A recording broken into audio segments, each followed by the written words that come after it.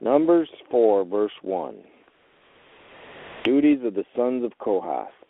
Then the Lord spoke to Moses and Aaron, saying, Take a census of the sons of Kohath from among the children of Levi, by their families, by their father's house, from thirty years old and above, even to fifty years old, all who enter the service to do the work in the tabernacle of meeting. This is the service of the sons of Kohath in the tabernacle of meeting, relating to the most holy things. When the camp prepares a journey, Aaron and his sons shall come, and they shall take down the covering veil, and cover the ark of the testimony with it.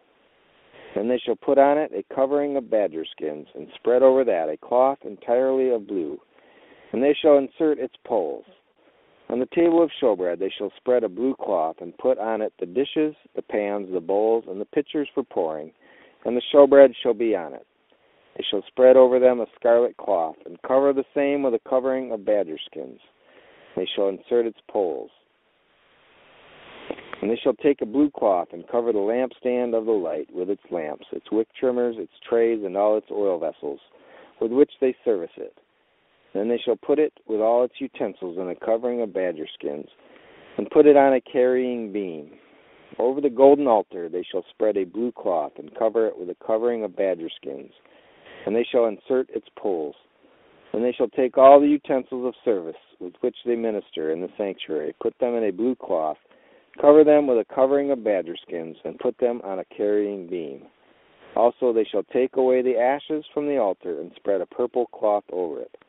They shall put on it all its implements with which they minister there the fire pans, the forks, the shovels, the basins, and all the utensils of the altar. And they shall spread on it a covering of badger skins, and insert its poles. And when Aaron and his sons have finished covering the sanctuary and all the furnishings of the sanctuary, and the camp is set to go, then the sons of Kohath shall come to carry them. They shall not touch any holy things, lest they die. These are the things in the tabernacle of meeting which the sons of Kohath are to carry. The appointed duty of Eleazar, the son of Aaron, the priest, is the oil for the light, sweet incense, the daily grain offering, the anointing oil, the oversight of all the tabernacle, of all that is in it, with the sanctuary and its furnishings. Then the Lord spoke to Moses and Aaron, saying, Do not cut off the tribe of the families of the Kohathites from among the Levites, but do this in regard to them that they may live and not die when they approach the most holy things. Aaron and his sons shall go in and appoint each of them to his service and his task. But they shall not go in to watch while the holy things are being covered, lest they die.